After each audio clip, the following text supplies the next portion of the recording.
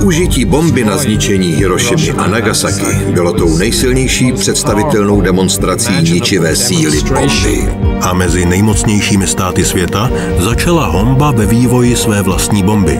V komplexu na severozápadu Anglie došlo v polovině minulého století k nehodě, která je označována za jednu z nejhorších jaderných katastrof v dějinách. Nehoda ve Windscale se musela stát. Britský Černobyl. V neděli ve 20 hodin na CS History.